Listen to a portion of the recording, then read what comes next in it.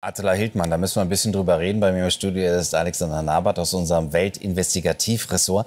Alexander, Hallo. dieser Attila Hildmann, also muss man ja wirklich, also ich fand die Bücher damals gar nicht schlecht. Der hat gut gekocht, das waren schöne Sachen drin. Und dann hat der so eine Wendung gemacht. Also was ist das für eine Person? Wie muss man den inzwischen einordnen?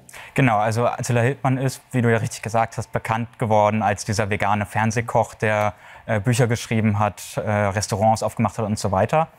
Und das schwang immer so ein paar Töne mit, schon politische Töne in den vergangenen sechs, sieben äh, Jahren. 2015 sind so die ersten Sachen gewesen, als es die großen Migrationsbewegungen gab, die großen Fluchtbewegungen.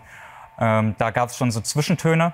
Aber gerade in den letzten zwei Jahren ähm, konnte man ganz doll beobachten, wie Attila Hildmann immer politischer, immer radikaler und auch immer weniger verklausuliert wurde. Während, das, während man früher ganz genau hinhören musste, was er eigentlich da sagt über die deutsche Vergangenheit und dergleichen mehr, muss man das mittlerweile gar nicht mehr. Man kann ihn, würde ich sagen, als lupenreinen Nationalsozialisten mittlerweile bezeichnen.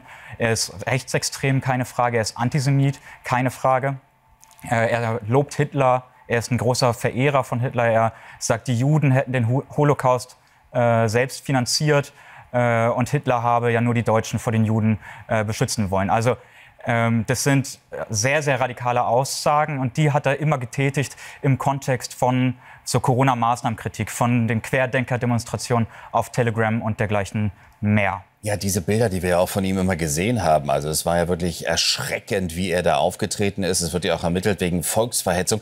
Warum hat er denn so ein, sag ich mal, Unterstützungspotenzial? Und du hast es ja auch selbst gesagt, vor allen Dingen über den Messenger-Dienst Telegram ist er ja weiterhin ganz groß unterwegs und hetzt also weiter. Warum kommt er bei diesen Leuten ausgerechnet an? Weil er ist ja nicht einer von ihnen in gewisser Weise, oder? Hm, das ist schwierig. Ich glaube gar nicht, dass er so doll und so gut ankommt. Er ist auch innerhalb der Szene relativ isoliert.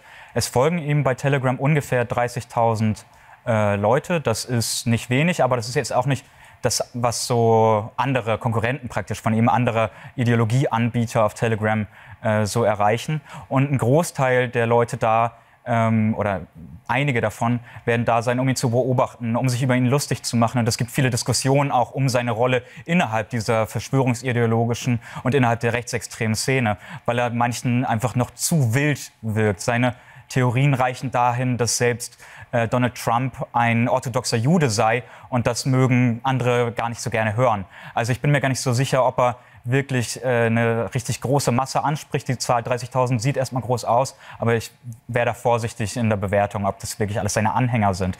Trotzdem kann man sagen, dass Radikalität natürlich anzieht.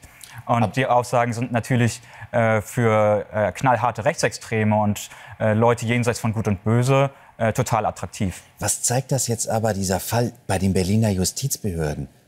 Eine 32-jährige IT-Spezialistin, offenbar der Maulwurf, die ihn gewarnt hat, die soll ja angeblich sogar in die Türkei zu ihm gereist sein. Sie weiß also genau, wo er ist. Also was heißt das auch für die Sicherheitsbehörden? Sind die inzwischen zu Teilen wirklich unterwandert oder ist das nur ein Einzelfall? Wie muss man das einordnen? Die Ermittlungen stehen ja erst am Anfang.